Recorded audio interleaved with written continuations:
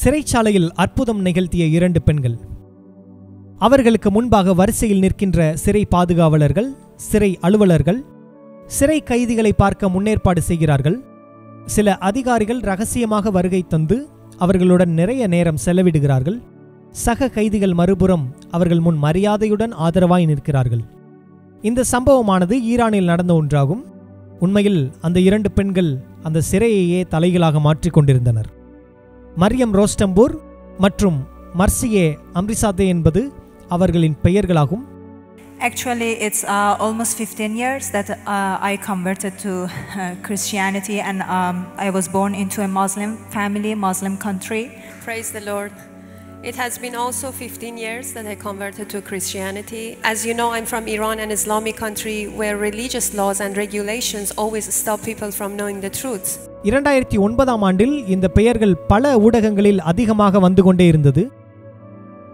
இவர்கள் இருவருக்கும் ஈரான் தேசத்திலே கிறிஸ்தவ மதத்திற்கு மாறியதற்காக மரண தண்டனை விதிக்கப்பட்டது.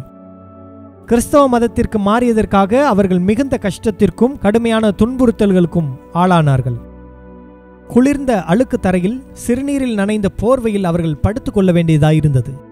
அவர்கள் இருவரும் கிறிஸ்தவர்கள் என்பதனாலேயே மருத்துவர்கள் அவர்களுக்கு சிகிச்சை அளிக்க மறுத்துவிட்டனர். சக கைதிகளும் அவர்களை ஏளனம் செய்து கொண்டே இருந்தனர்.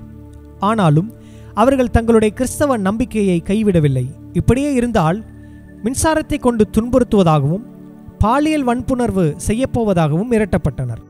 மேலும் நீங்கள் இருவரும் விசுவாசத்தை கைவிட்டால் விடுவிக்கப்படுவதாகவும் வாக்குறுதிகளும் அளித்தனர். ஆனால் அவர்களிடத்தில் எந்த ஒரு மாற்றமும் இல்லை. விரைவில் காரியங்கள் மாறினது. சிறையில் இருந்த இரண்டு பெண்களிடத்திலும் ஜெபித்து கொள்ள சிறையில் உள்ளவர்கள் வரிசையில் வந்து நின்றனர்.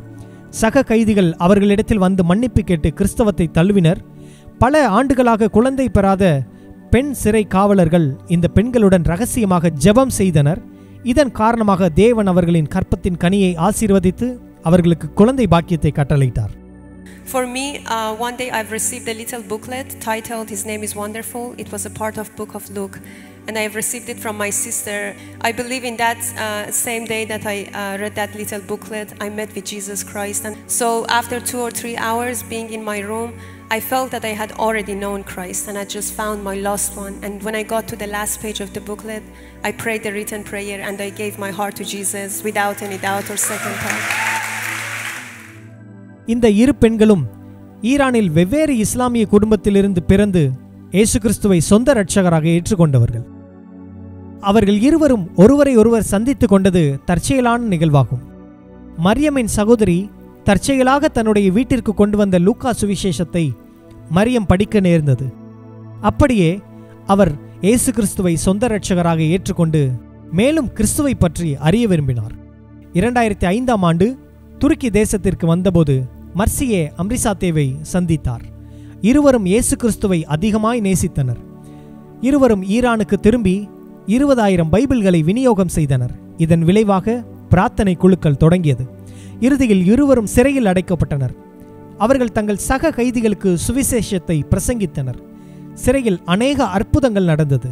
சிறை காவலர்கள் சிறை அலுவலர்கள் சக கைதிகள் அனைவரும் ஒன்றாக ஜெபித்து இயேசு கிறிஸ்துவிடமிருந்து ரட்சிப்பையும் மீட்பையும் ஆசீர்வாதங்களையும் பெற்றார்கள் என்பதற்கு வரலாறே சாட்சி.